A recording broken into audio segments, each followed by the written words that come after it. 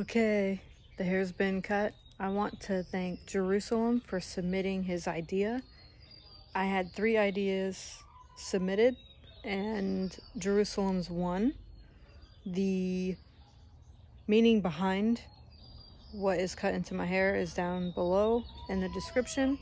I want to thank Jackie from Uppercut Barbershop for taking the time to freaking knock this out of the park.